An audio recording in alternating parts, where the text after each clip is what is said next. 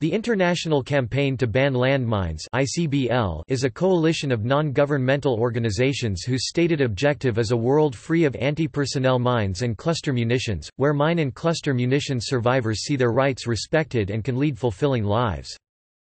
The coalition was formed in 1992 when six organizations with similar interests France-based Handicap International, Germany-based Medico International, UK-based Mines Advisory Group, and US-based Physicians for Human Rights and Vietnam Veterans of America Foundation agreed to cooperate on their common goal.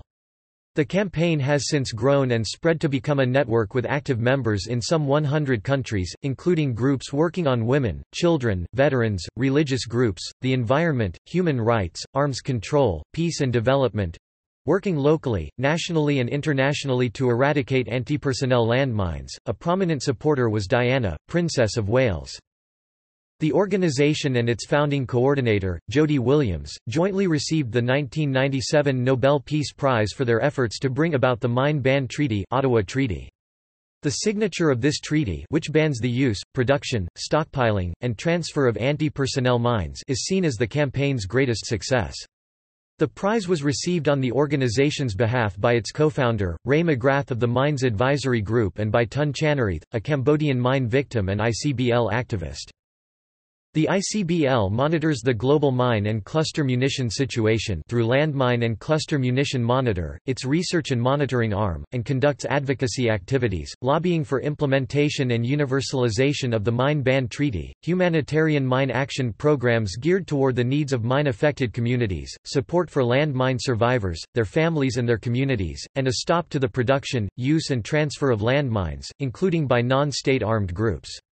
The ICBL participates in the periodical meetings of the Mine Ban Treaty process, urges states not parties to the treaty to join and non-state armed groups to respect the mine ban norm, condemns mine use and promotes public awareness and debate on the mine issue, organizing events and generating media attention. Organizational structure In 2011, the International Campaign to Ban Landmines (ICBL) and Cluster Munition Coalition (CMC) merged into one unified structure, now known as the ICBL-CMC, in order to realize operational efficiencies and reinforce complementary work. The ICBL and the CMC campaigns remain separate and continue to remind governments of their commitments to implement and promote both treaties. Landmine and Cluster Munition Monitor continues its unique civil society monitoring program on the humanitarian and developmental consequences of landmines, cluster munitions, and explosive remnants of war. The activities of the ICBL-CMC are supported by a governance board representative of various elements of the ICBL that provides strategic, financial and human resources oversight. An advisory committee provides more regular input to staff and the working of the campaign. Four ambassadors serve as campaign representatives at speaking events and other conferences worldwide. They include Jody Williams, Tun Channareth Cambodian landmine survivor, Song Kosal Cambodian landmine survivor, and Margaret Arach Orech Ugandan landmine survivor and founder of Ugandan Landmine Survivors Association. Currently, the ICBL has 14 staff members based in Geneva the central office, Lyon, Paris, and Ottawa. Additionally, the ICBL-CMC hosts several interns each year. Mine Ban Treaty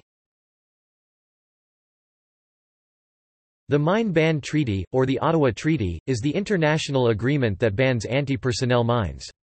Officially entitled the Convention on the Prohibition, Use, Stockpiling, Production and Transfer of Anti-Personnel Mines and on Their Destruction, the treaty is sometimes referred to as the Ottawa Convention.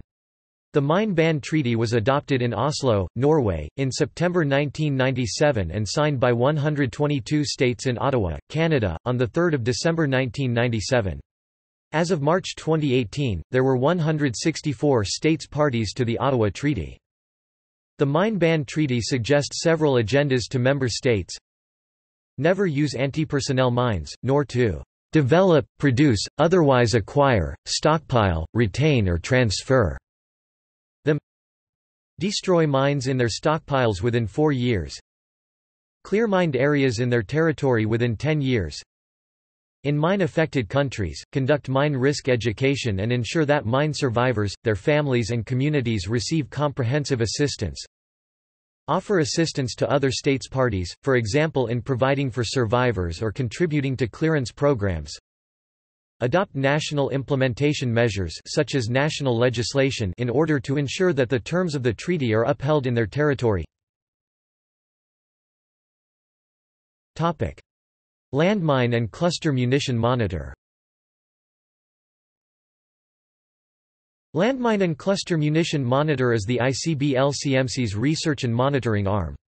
It is the de facto monitoring regime for the Mine Ban Treaty and the Convention on Cluster Munitions of 2008.